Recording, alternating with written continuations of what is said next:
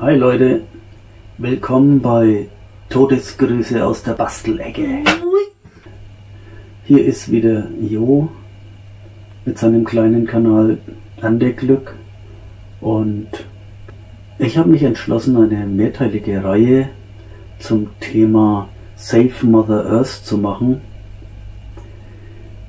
Kleine DIY-Projekte, Do-it-yourself-Projekte, was jeder machen kann. Ganz einfache Maßnahmen, um richtig Geld und Energie zu sparen. Leider muss ich Geld als erstes nennen, weil das offensichtlich der Hauptantrieb und Beweggrund der Menschheit ist. Aber aus meiner Sicht ist das andere wichtiger. Energie sparen, Abgase vermeiden und Müll vermeiden, indem man Dinge möglichst lange benutzt oder wiederverwendet. Im heutigen Teil von Save Mother Earth geht es also um eine kleine Maßnahme, die ich vor vielen Jahren gemacht habe, an älteren Dachfenstern. Und zwar hatten wir das Problem, dass die Dachfenster an der Innenseite der Scheibe Kondenswasser gebildet haben. Da die Scheibe selber, das Fenster ist älter, also sind die Dämmwerte schlechter und dadurch ist die Scheibenoberfläche an der Innenseite so kühl, um die 12 bis 14 Grad, vielleicht auch weniger, wenn es kälter ist draußen, dass die Luftfeuchtigkeit auskondensiert und dann das Wasser innen am Rahmen runterläuft. Und um einerseits diesen unangenehmen Effekt zu vermeiden und andererseits Energie zu sparen, habe ich mir eine ganz einfache Methode einfallen lassen, wie man den Energieverlust durch die Fenster um etwa 40% reduziert durch den Einbau einer weiteren Scheibe auf der Innenseite.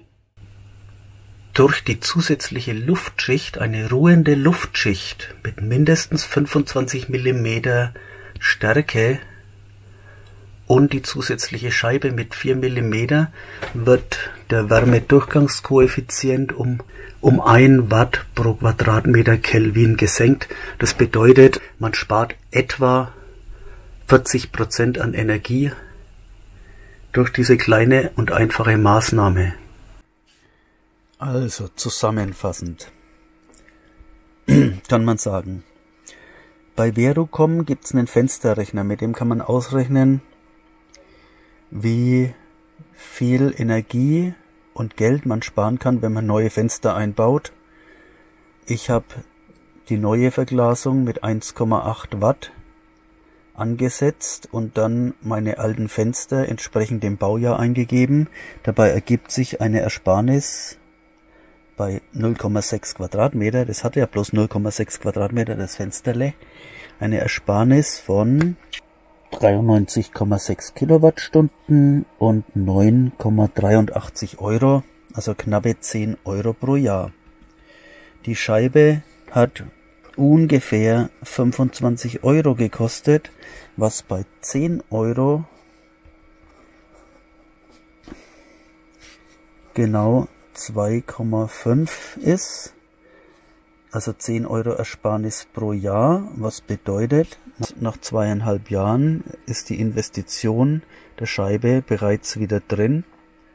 Und da ich die Scheibe ja bereits 10 Jahre habe, heißt das, ich habe schon dreimal so viel gespart, wie ich ausgegeben habe. Und damit habe ich natürlich auch eine ganze Menge Energie gespart, nämlich diese 93,6 mal 10 Jahre, also 936 Kilowattstunden in 10 Jahren. So, hier also die Temperaturmessung. Das ist jetzt die Temperaturmessung an dem isolierten Fenster. Unter dem Fenster ist keine Heizung, also es sind genau gleiche Bedingungen. Das ist so ein äh, Laser Thermometer. Und jetzt gehen wir noch rüber in meine kleine Anzuchtstation.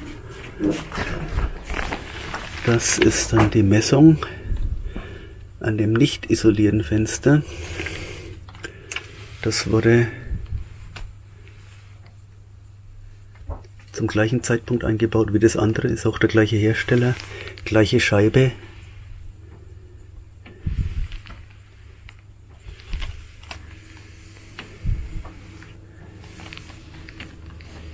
Weiter oben. Weiter unten. Man kann also sehr deutlich einen wunderbaren Unterschied feststellen. Hier haben wir eine kühlere Temperatur an der Fensteroberfläche innen wie an dem zusätzlich isolierten Fenster. Ist eine ganz einfache Sache. Die einfachste Methode überhaupt, ein älteres Fenster besser zu machen, so dass weniger Energie durch die Fensterfläche rauszischt. Die Fenster sind in einem Gebäude immer noch trotz der tollen dreifach Isolierverglasung, Wärmeschutzverglasung immer noch die Teile, die am meisten Energie verlieren, wo wir am meisten nachheizen müssen, am meisten Abgase erzeugen, wenn wir fossile Brennstoffe verwenden und wo wir demgemäß auch am meisten einsparen können, nicht nur finanziell, ich betone das ausdrücklich, es ist natürlich eine finanzielle Sache, aber hier geht es ja um viel mehr als bloß Geld, nämlich den Schutz unserer eigenen Welt, diese wundervolle Welt, die wollen wir uns doch nicht kaputt machen. Also, Leute, macht was. Man sieht hier unten, dass schon Wasser draufgelaufen ist, die Jahre vorher. Das Wasser ist dann getrocknet, in das Holz reingezogen. Es ist also eine unauffällige Bastelaktion gewesen. Auf den ersten Blick erkennt man überhaupt keinen Unterschied zu einem normalen Dachfenster. Wenn man genauer hinschaut, sieht man aber diese kleinen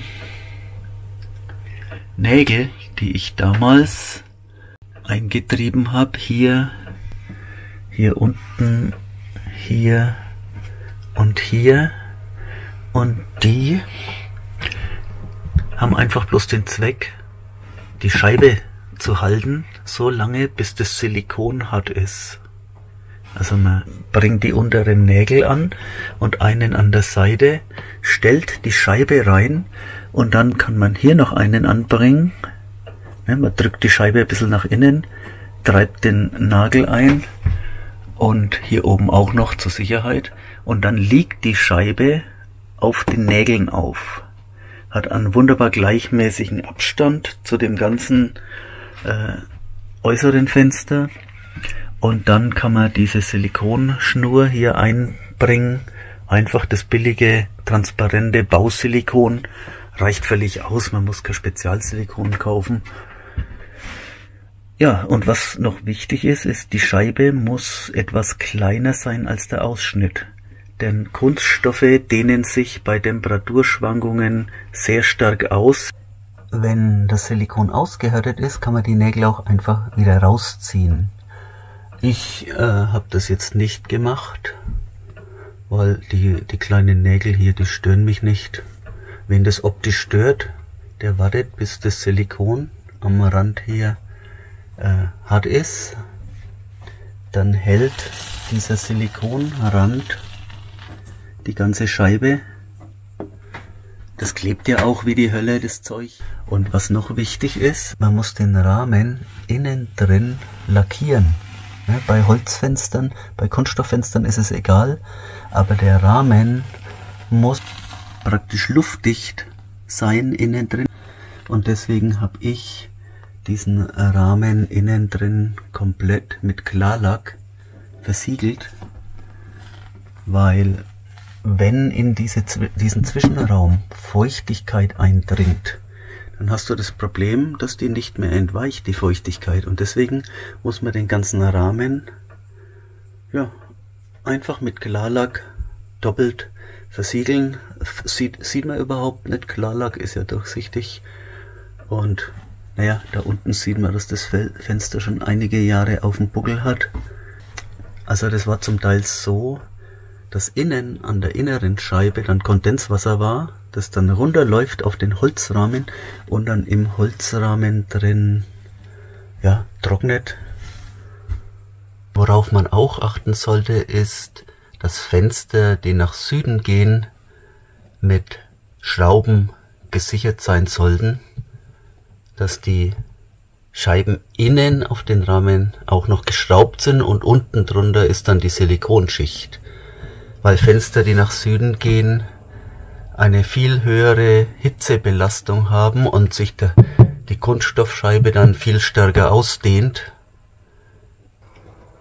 Wer das optisch noch aufhübschen will, kann auch hier einfach eine Leiste drüber kleben, eine Holzleiste, also quasi einen Scheinrahmen oder einen doppelten Rahmen drüber machen, so dass man das überhaupt nicht mehr sieht, aber mich stört es nicht. Die Fenster sind alt, das ganze Haus ist alt. Und ich will hier keinen Castingpreis für schöner Wohnen gewinnen. Der Schutz unserer Atmosphäre durch Isoliermaßnahmen. Wer weniger heizt, erzeugt weniger Abgase, ganz klar.